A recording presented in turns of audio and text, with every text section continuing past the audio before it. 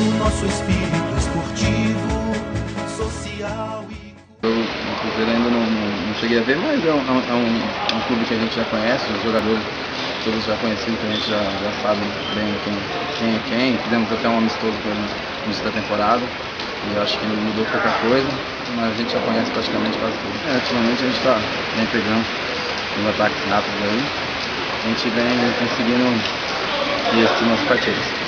Espero que nessa próxima partida a gente possa conseguir novamente. O Fábio Júnior, o Fábio Júnior, o Rodriguinho, todos os ataques, o Caio, vem ajudando o Adeilson, vem, vem, vem ajudando muita gente né, né, nesse sentido de marcação e espero que nessa partida eles possam ajudar novamente. O jogo pode passar o adversário e depois a gente tem um clássico entre eles, que é o Atlético e o Cruzeiro, e a gente pode ainda conseguir a liderança.